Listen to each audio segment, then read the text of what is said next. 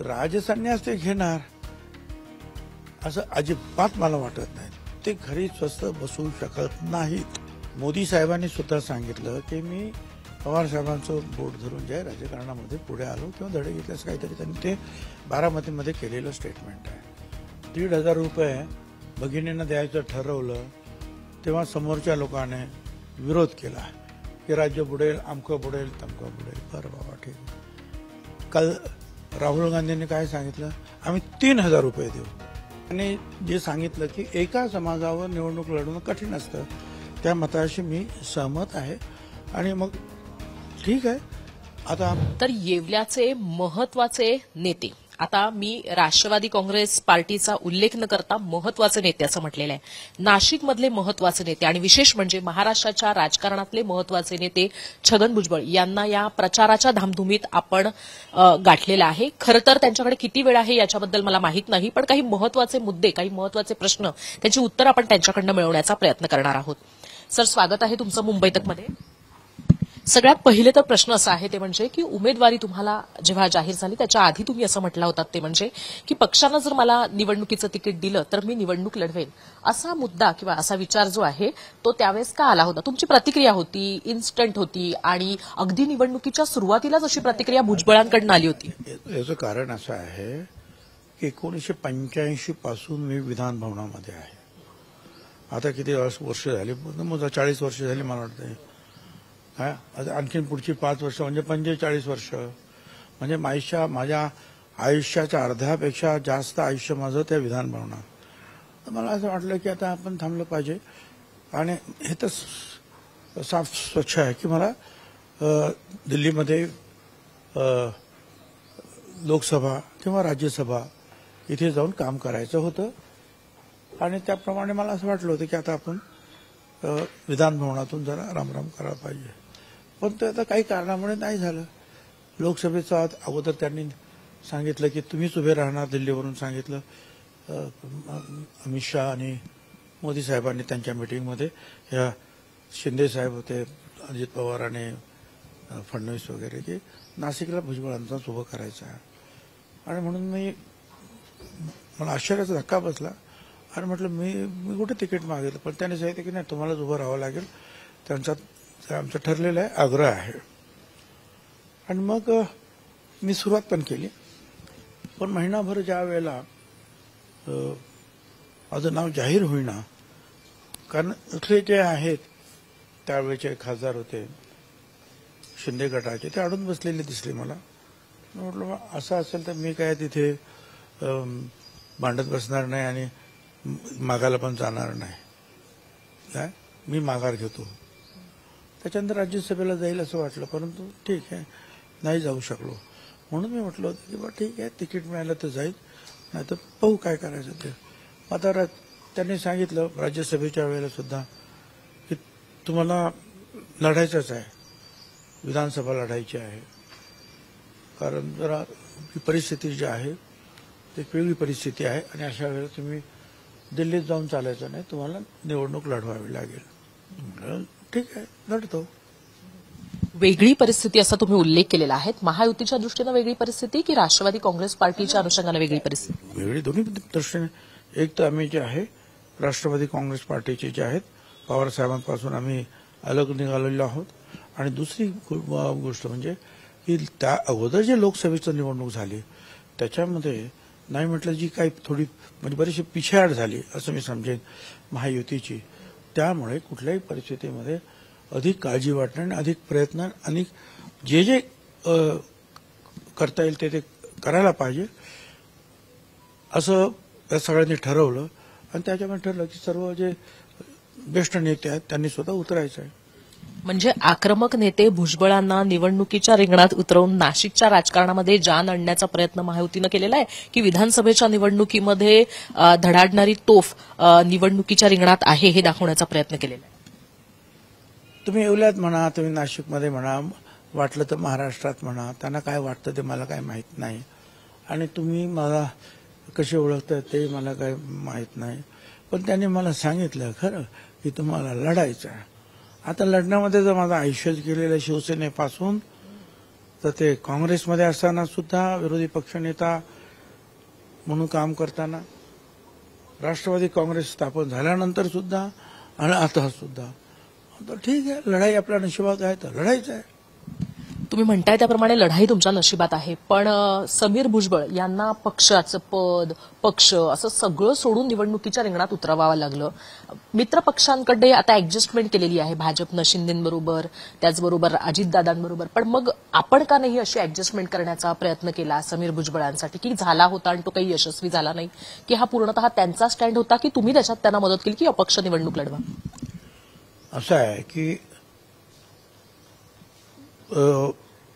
दोन हजार एकोणीस पर्यंत दहा वर्ष पंकज भुजबळ तिथे आमदार होते. त्यामुळे साहजिक आहे अनेक लोकांशी लहान मोठ्या आमचे संबंध आहेत. दुर्दैवाने जे आहे त्यावेळेला आम्ही नुकतेच जेलमधून बाहेर आलो होतो आणि काही कारण असेल परंतु दहा हजार मताने पंकज भुजबळ पराभूत झाले. ठीक आहे हरकत नाही. आम्ही काही पंकज भुजबळला सुद्धा लोकांनीच नेलं होतं की पंकजने फॉर्म भरताना पहिल्यांदा ते मनमाड पाहिलं. तो भाग वेगळा. परंतु एक संबंध निर्माण होतात.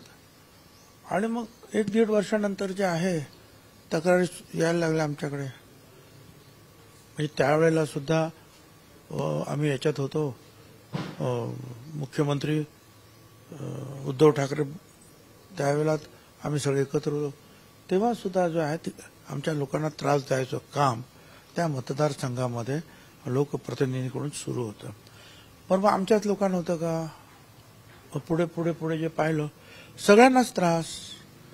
अगदी अधिकाऱ्यांना सुद्धा शिवीगाळ करण्यापासून पोलिसांना सुद्धा.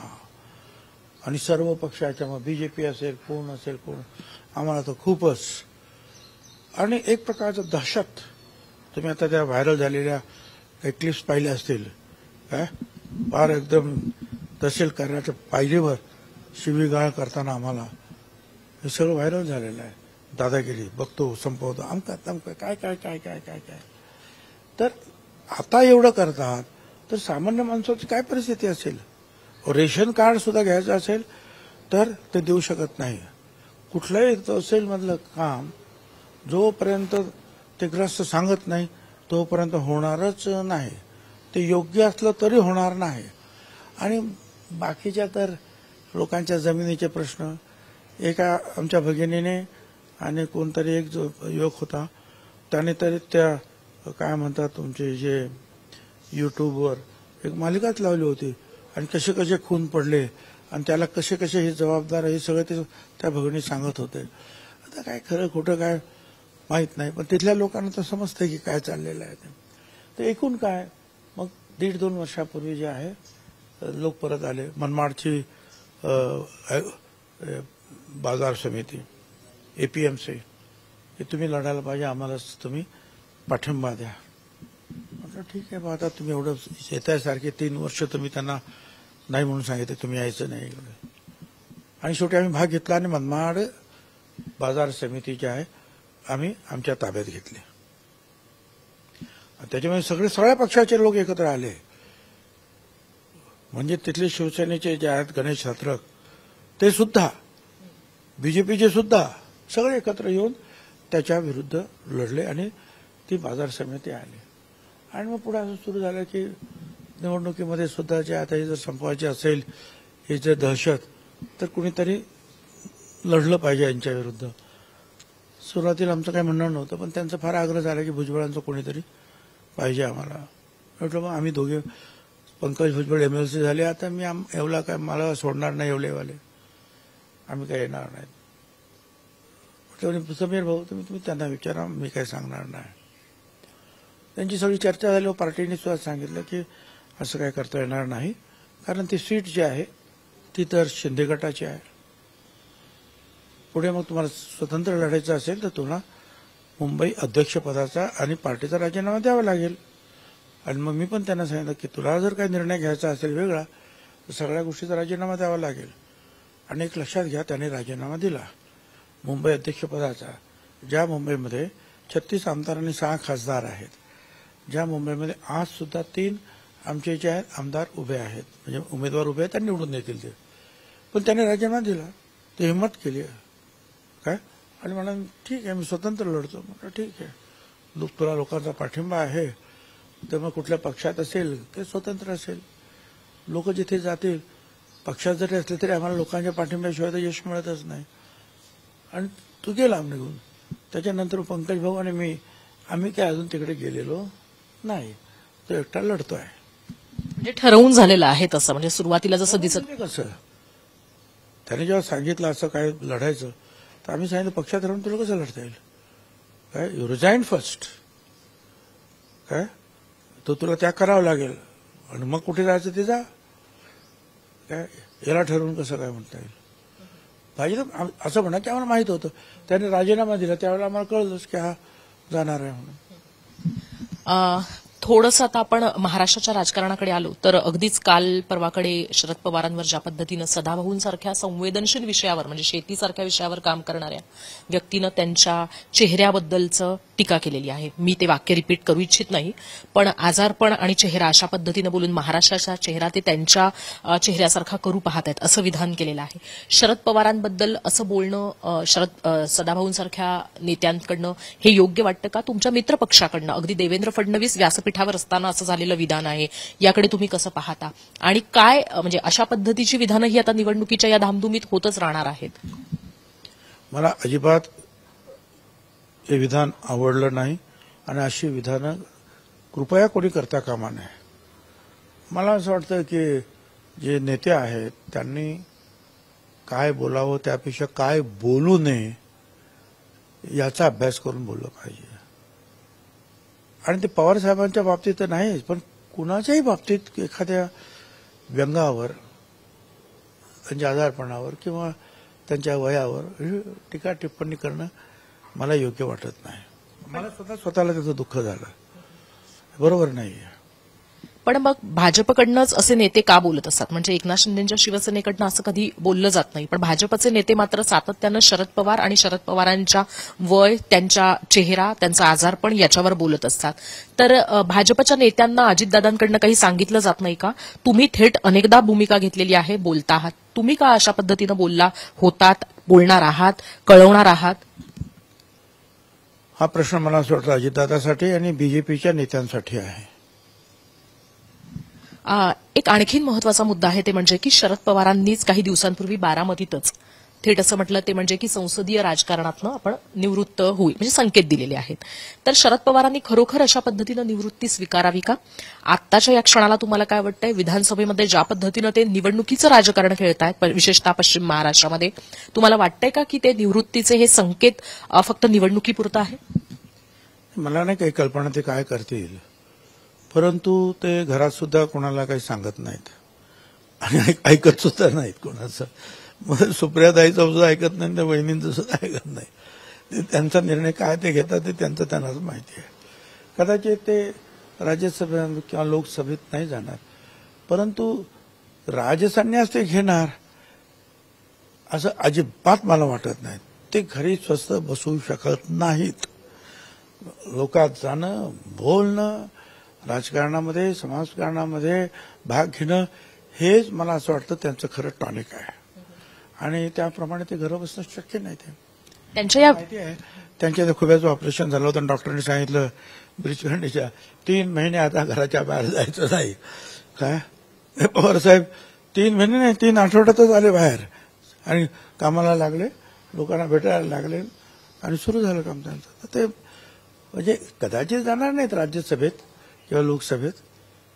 परंतु राजकारणापासून निवृत्ती होणार निवृत्त होणार असं मला अजिबात वाटत नाही. महाराष्ट्राच्या निवडणुकीचा निकाल काहीही लागू पण शरद पवारांसारख्या नेत्याची महाराष्ट्राच्या राजकारणात आणि महाराष्ट्रात आवश्यकता आहे का? किती आणि कशा पद्धतीची आवश्यकता आहे? कारण एक बराच मोठा काळ तुम्ही त्यांच्याबरोबर घालवलेला आहे. विशेष म्हणजे त्यांच्या राजकारणाचे तुम्ही जवळ- जवळून निरीक्षक सुद्धा आहात आणि एक प्रकारे त्यांच्या या सगळ्या राजकारणामध्ये सहभागी सुद्धा होता अगदी सुरुवातीपासून. असं आहे हर्षदा. मोदी साहेबांनी सुद्धा सांगितलं की मी पवार साहेबांचं बोट धरून जे आहे राजकारणामध्ये पुढे आलो किंवा धडे घेतल्यास काहीतरी त्यांनी ते बारामतीमध्ये केलेलं स्टेटमेंट आहे. त्यामुळे पवार साहेब हे ज्येष्ठ नेते आहेत ते महाराष्ट्राला नाही देशाला सुद्धा ते त्यांची मतं सांगू शकतात आणि देशातील लोकसुद्धा ते मोठ्या गंभीरपणे ते ऐकतात. त्यामुळे ते कुठेही असले कसे असले ते राज्यसभेत असो नसो सत्तेत असो नसो त्यांच्या मताला ते जे काही बोलतील लोक गंभीरपणे ते ऐकतात. काय? त्यामुळे निश्चितपणे तेच असं नाही. जे जे ज्येष्ठ नेते आहेत त्यांनी जे आहे जे जे जे- त्यांनी राजकारणात राहिलं पाहिजे. ह्या बाजूला असतील किंवा त्या बाजूला असतील सत्तेत असतील किंवा विरोधी पक्षात असतील. परंतु त्यांच्या उपस्थितीमुळे जे आहे जर काही कुठे जर कमी पडत असेल किंवा काही चुकत असेल तर ते त्या- त्यावर तिथे बोट ठेवू शकतात. आणि त्याचा विचार करावा लागतो. आणि ते करतात. आता साखर कारखान्याच्या विषयावर अनेक वेळा ते दिल्लीमध्ये जाऊन पवार मोदी साहेबांना भेटतात. वेगवेगळ्या प्रश्नावर ते जातात. त्यामुळे ते गेल्यामुळं एक वेगळं वजन पडतं. महाराष्ट्रामध्ये लोक स्वाभाविक आहे म्हण त्यांची अपेक्षा असणार की ठीक आहे त्यांनी कुठल्याही पक्षात राहोत किंवा सत्तेत किंवा विरोधी पक्षात परंतु त्यांनी त्यांचं मार्गदर्शन जे आहे राज्य आणि देशाला आवश्यक आहे. निवडणुकीपर्यंत आलेलोच आहोत आपण. तर विशेष म्हणजे आता निवडणुकीच्या बद्दल कुणी अंदाज बांधू शकत नाही असं राजकीय विश्लेषक त्याचबरोबर फील्डवरचे रिपोर्टर्स मोठे मोठे रिपोर्टर्स म्हणतात. अगदी मोठे मोठे नेते सुद्धा म्हणतात. भुजबळांचा काय अंदाज आहे या निवडणुकीच्या संदर्भामध्ये? असं की या चार महिन्यामध्ये परिस्थिती पूर्णपणे बदललेली आहे. लोकांचा मूड बदललेला आहे. लोकसभेच्या वेळेला असलेले जे प्रश्न जे आहेत ते आता नाहीत चर्चेत. किंवा करू शकत नाही. म्हणजे संविधान. संविधान बदलणार बदलणार. आता हे महाराष्ट्राची निवडणूक आहे. तिथं काही संविधान बदलण्याचा प्रश्न येत नाही. पण मोदी साहेबांनी सुद्धा प्राईम मिनिस्टर झाल्यानंतर संविधानाप्रती जे जी श्रद्धा आणि आदर व्यक्त केला संविधानापुढे झुकून सगळ्यांनी पाहिलेला आहे. त्यामुळे ते सगळे प्रश्न जे आहेत आता इथे नाहीत. आता इथले प्रश्न काय आहेत? आणि या चार महिन्यामध्ये विशेषतः लाडकी बहीण योजना पाच महिने चार पाच महिन्याचे पैसे मिळाले सगळ्या भगिनींना. दोन कोटी सत्तर लाख भगिनींना पैसे मिळाले. शेतकऱ्यांना वीज माफ पुढची वीज माफ सोलर पंप फ्री मुलींना डॉक्टर इंजिनिअरिंग पदवीचं शिक्षण मोफत मोफत. मुलांना सुद्धा जे आहे तुम्ही हुन्नरचं शिक्षण घ्या कुठलं तरी कौशल्याचं शिक्षण घ्या. दहा हजार रुपये स्टायपेंड आहे. सिलेंडर मोफत आहेत. आणि आता सुद्धा काल त्याने सांगितलं की निवडून आल्यानंतर जसजसं जे पुढे पुढे आपण जाऊ तसे पंधराशे रुपयाचे ते एकवीसशे रुपये होतील. अन्न निवारा सगळ्यांनाच मिळेल याची त्यांनी गॅरंटी दिलेली आहे महायुतीने. शेतकऱ्यांच्या बाबतीमध्ये सुद्धा या सगळ्यांच्या बाबतीमध्ये सुद्धा आणि विकासाच्या बाबतीमध्ये. तुम्ही मुंबईतून आलात. मला सांगा मुंबईमध्ये एवढा विकास जो रस्त्यांच्या बाबतीमध्ये सुद्धा सुरू आहे कधी झाला होता? किंवा आता नागपूरवरून समृद्धी मार्ग वगैरे जे आहे तो सुरू झाला त्यावेळेला. आणि आता तो पूर्ण सुद्धा झाला. त्याचा फायदा होतोय की नाही? आणि अनेक अशा रीतीचे म्हणजे विकास अधिक शेतकरी अधिक कष्टकरी या सगळ्यांच्या दृष्टीनं जे आहे माहितीने महायुतीने फार मोठे निर्णय घेतलेले आहेत. आणि लोकांना ते भावतात. जे शहरातल्या लोकांना जे पाहिजे आहे ते शहरातल्या लोकांना दिलेलं आहे. जे ग्रामीण विभागात पाहिजे ते ग्रामीण विभागांना दिलेलं आहे. त्याच्यामुळे आज ही परिस्थिती पाहतो ती पूर्णपणे बदललेली आहे. आणि तुम्ही मी तुम्हाला हेही सांगतो दोन हजार चौदा आणि दोन हजार एकोणीसमध्ये माझ्या मतदारसंघातून माझ्या विरोधी पक्षाचे जे उमेदवार होते त्यांना पन्नास पन्नास हजाराचं तीस तीस हजाराचं लीड मिळत होतं. आणि मी उभं राहिल्यानंतर ते साठ सत्तर हजाराचं लीड मला मिळतं ते संपून. आणि हीच परिस्थिती सगळ्या महाराष्ट्रामध्ये आहे. त्याच्यामुळे मला असं वाटतं की शंभर टक्के महायुतीचंच सरकार येणार. तुम्ही म्हणताय महायुतीचं सरकार येणार पण दोन तीन मुद्दे आहेत. ते म्हणजे की मोठ्या प्रमाणावर कर्ज आणि एक प्रकारे योजनांवर होणारा खर्च याचा जो फटका आहे तो महाराष्ट्राच्या तिजोरीला बसेल. पुढचं सरकार येईल त्यांच्यासमोर मोठं आव्हान असेल. या योजना सुरू ठेवणं आणि त्याचबरोबर सायमल्टेनियसली विकास प्रकल्प सुरू करणं. असं अनेक अर्थतज्ञांचं म्हणणं आहे राजकीय विश्लेषकांचं म्हणणं आहे. तर या दृष्टीनं विचार केलेला आहे का एकंदरीत? आणि महत्वाचं म्हणजे की हीच गोष्ट कुठेतरी मेघ ठरू पाहते आहे का? निवडणुकीच्या विकासाचा जेव्हा मुद्दा घेऊन जात आहे तेव्हा. आणि विरोधकांना आयतं कोलीत मिळतं असं वाटतं का? हं, मला सांगा दीड हजार रुपये भगिनींना द्यायचं ठरवलं तेव्हा समोरच्या लोकांनी विरोध केला की राज्य बुडेल आमकं बुडेल तमकं बुडेल. बरं बाबा ठीक आहे. काल राहुल गांधींनी काय सांगितलं? आम्ही तीन हजार रुपये देऊ. म्हणजे काय? म्हणजे याचा अर्थ आम्ही जे करतोय ते शक्य आहे. हे त्यांनी मान्यच केलेलं आहे. का ते तर जास्त द्यायला तयार आहे मग जे आहे तुम्ही जे राजकीय विश्लेषक म्हणतात तर राहुल गांधीचं जे काही विधान आहे हे त्यांनी अभ्यास करूनच केलं असेल असं मी समजतो. त्यामुळे साहजिकच जो आहे हा जो तुमचा प्रश्न जो आहे आता निकाली निघालेला आहे. कालच्या त्यांच्या जाहीरनाम्यामुळे म्हणा किंवा त्यांच्या भाषणामुळे म्हणा. राहुल गांधींचा उल्लेख केला संविधानाचा? त्यांनी सांगितलं आम्ही अर्धी अर्ध महिलांना अ, एसटी अर्धी महिला म्हणून त्यांना तिकीट त्यांनी सांगितलं आम्ही मोफत देऊ. म्हणजे काय? तर मला असं वाटतं की तो विषय आता नाही. पण आम्ही दिलंय. काय? असं एक कोणीतरी सांगणं वेगळं आहे आश्वासन दे- देणं वेगळं आहे. आणि प्रत्यक्ष कोणीतरी पाऊल उचलून पत्रात पडणं याच्यामध्ये जमीन आसमानाचा फरक पडतो. राहुल गांधींचा उल्लेख केलात आणि संविधानाचा पण उल्लेख केलात. आज बातमी सुद्धा आहे आणि कालचं त्यांचं विधान आहे. त्यांनी असं म्हटलंय की संविधान संपलं तर या देशातले दलित आदिवासी गरिबांच्या हातात काहीच राहणार नाही. तुमच्या हक्कांचं रक्षण संविधान करतं. संविधान हे केवळ पुस्तक नाही तर या पुस्तकात महापुरुषांचे विचार विचार आणि देशाचा आवाज आहे. हळूहळू मोदी भाजप आरएसएस या संविधानाला संपवण्याचं काम करता आहेत आणि आम्ही सांगतो की आम्ही संविधान कुणालाही संपवू म्हणजे संविधानाला कुणीही संपवू शकत नाहीत. पुन्हा एकदा महाराष्ट्राच्या राजकारणामध्ये संविधानाचा मुद्दा हा महाविकास आघाडी आणते आहे का? विधानसभेमध्ये म्हणजे लोकसभेच्या निवडणुकीमध्ये याचा नरेटिव्ह सेट करून कुठेतरी फेक नरेटिव्ह असल्याचा आरोप हा महायुतीकडनं झाला होता. आता पुन्हा एकदा संविधानाचा हाच मुद्दा सेट होईल का? आणि याचा फटका बसेल असं वाटतं का की आता हा मुद्दा अजिबातच कामाला येणार नाही प्रभावी ठरणार नाही? तो फेक नेरेटिव्ह होता. हे तर सिद्धच झालंय. ज्या पद्धतीनं जे आहे मी मगाशीच सांगितलं प्रधानमंत्री मोदी साहेबांनी प्रधानमंत्री झाल्यानंतर त्या संविधानाचा जो आदर केला वंदन केलं एका विशिष्ट स्तरावर त्यांची स्थापना केली. संविधान दिवस वर्ष साजरा करण्याचं त्यांनी ठरवलं. आता हे सगळं झाल्यामुळे तो मुद्दा भा- आणि महाराष्ट्र सरकार किंवा महाराष्ट्र विधानसभा काही संविधान बदलायला जाणार नाहीये ते फार महाराष्ट्राचं फक्त जे आहे कारभार पाहणार आहे. त्यामुळे तो मुद्दा जो आहे पूर्णपणे निकाली निघालेला आहे. आणि तो तुम्ही किती आता सांगितलं तरी तो आता मुद्दा जो आहे आता या प्रचारामध्ये टिकणारा नाही. महायुतीचं सरकार येईल असं तुम्ही म्हटलात. नवाब मलिक जेव्हा मुंबईतच्या चावडीवर आले होते ते म्हणाले होते की अजितदादा हे किंग मेकर असतील. भुजबळांच्या मते नेमकी काय सिच्युएशन असेल राष्ट्रवादी काँग्रेस पार्टीची आणि अजितदादा कुठे असतील? असं आहे की आम्ही महायुतीचे तीन घटक आहोत. तिन्ही घटक किंगमेकर आहेत. एकही घटक जर बाजूला पडला तर अडचण निर्माण होईल. सगळेच किंगमेकर आहेत. मग किंग कोण होणार? आता ते जे आहे निवडणूक झाल्यानंतर सगळे बसतील.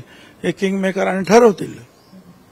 एक मुद्दा आहे तो म्हणजे की मुख्यमंत्री पदाची शर्यत नाही म्हटली तरी प्रत्येक पक्षात असते. मग युती आघाडी असो किंवा मग छोटे मोठे पक्ष असो. तर अशा परिस्थितीमध्ये सध्याचं राजकारण पाहता विशिष्ट समाजाचा मुख्यमंत्री व्हायला हवा की अनुभवी मुख्यमंत्री व्हायला हवा की आतापर्यंतच्या पूर्ण यंत्रणेला छेद देणारा असा मुख्यमंत्री व्हायला हवा? असं राज्याचं हित पाहणारा सगळ्यांना बरोबर घेऊन जाणारा आणि तिने आमच्या महायुतीच्या घटकाने मंजूर केलेला मुख्यमंत्री हवा. आता खरं तर शेवटाकडे यायला हवं ते म्हणजे की आरक्षणाच्या मुद्द्यावरनं बरीचशी चर्चा झालेली आहे आणि सगळे बोलणं टाळतायत काही जण मोकळे पद्धतीनं बोलतायत सुद्धा. पण मनोज जरांगे पाटलांनी मान ठोकून निवडणुकीत आता आपण पाडा- पाडणार आणि लढणार असं सुद्धा म्हटलं होतं. त्यांना माघार घ्यावी लागली. अगदी रात्रीपर्यंत निवडणुकीशी चर्चा करतो आहोत मित्रपक्षांशी चर्चा करतो आहोत असं ते म्हटल्यानंतर म्हटले की काही यादीच आली नाही त्यांच्यामुळे म्हणून आम्हाला माघार घ्यावी लागते. त्यांच्या या विधानातलं तथ्य म्हणजे तुमची काहीतरी माहिती असेलच माहिती घेतली असेलच प्रतिस्पर्ध्याची नेहमी आपण माहिती घेतो त्यानुसार. त्यांना माघार घ्यावी लागली याकडे तुम्ही कसं पाहताय? आणि ते सुद्धा मित्रपक्षांनी यादी न पाठवल्यामुळे. मला काय माहीत नाही रे. त्यांनी माघार घेतले त्याचं मी स्वागत केलेलं आहे. पण आनंदराज आंबेडकर हे त्यांच्याबरोबर होते. त्यांचं जे आहे स्टेटमेंट असं आहे की आम्ही आमची यादी पाठवली होती. आता मला नक्की त्याच्यावर जास्त काही बोलायचं नाही. परंतु त्यांनी जे सांगितलं की एका समाजावर निवडणूक लढवणं कठीण असतं. त्या मताशी मी सहमत आहे. आणि मग ठीक आहे. आता कोण पाडणार काय करणार ते लोकांच्या हातामध्ये मतदारांच्या हातामध्ये. शेवटचाच प्रश्न अगदी. तो म्हणजे की एक प्रकारे आपण असं म्हणूयात ते म्हणजे की आरक्षणाच्या मुद्द्यावरनं तिथं महायुतीला लोकसभा निवडणुकीमध्ये फटका बसला होता. मनोज जरांगे निवडणुकीत नाहीत पण मराठा आरक्षण किंवा मराठ्यांचा मुद्दा ओबीसी आरक्षण आदिवासी आमदारांनी जाळीवर मारलेल्या उड्या तर ह्या सगळ्याचा परिणाम या निवडणुकीवर पाहायला मिळेल का? मला तसं काही वाटत नाही. धन्यवाद सर. तर खरं तर हे होते छगन भुजबळ. त्यांनी काही प्रश्नांची उत्तरं थेट दिलेली आहे. काही प्रश्नांची उत्तरं त्यांनी मित्रपक्षांच्या नेत्यांना विचारा असं सुद्धा सांगितलेलं आहे. एकंदरीतच निवडणुकीमध्ये त्यांचं असं म्हणणं आहे ते म्हणजे की महायुतीचं सरकार येईल. पण किंग कोण असेल हे सांगायला मात्र त्यांनी काही धाडस केलेलं नाही किंवा दाखवलेलं नाही. आत्ता या क्षणी असं म्हणायला काही हरकत नाही. ते हसतात सुद्धा आहेत. धन्यवाद सर. कॅमेरामन मंगेश आंबरेसह मी हर्षदा परब मुंबई तकसाठी